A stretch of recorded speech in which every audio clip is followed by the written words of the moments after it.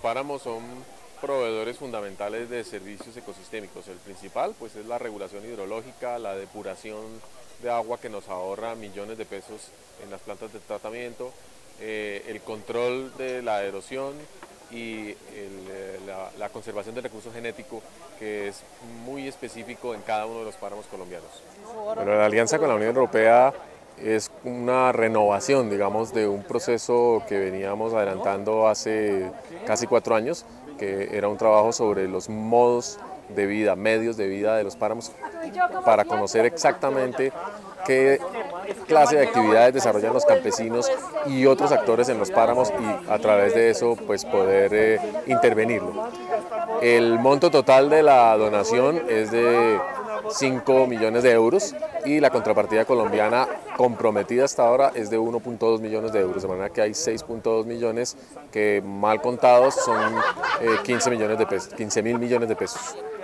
Este proyecto va a trabajar cuatro páramos colombianos, Santurbán en Santander, Rabanal aquí en el altiplano cundiboyacense, eh, Las Hermosas en el Valle del Cauca y Los Nevados en la zona cafetera. Eh, un páramo adicional conjunto con Ecuador y en la frontera, en la zona de frontera, y el páramo de Piura en el norte de Perú.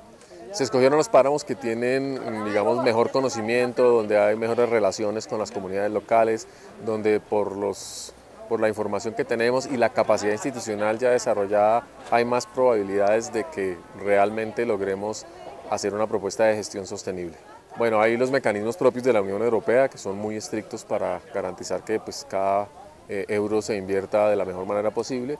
Cada una de las instituciones eh, firmantes de la alianza tiene un convenio, un contrato eh, mediante el cual aporta los recursos de contrapartida y se compromete a la ejecución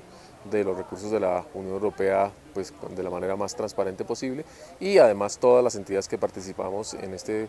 eh, convenio estamos sujetas a, los, a, la vigilancia de los entes de control. Sin embargo, eh, yo creo que todas las veedurías ciudadanas y la participación de los medios de comunicación y de la gente pues, es indispensable y bienvenida.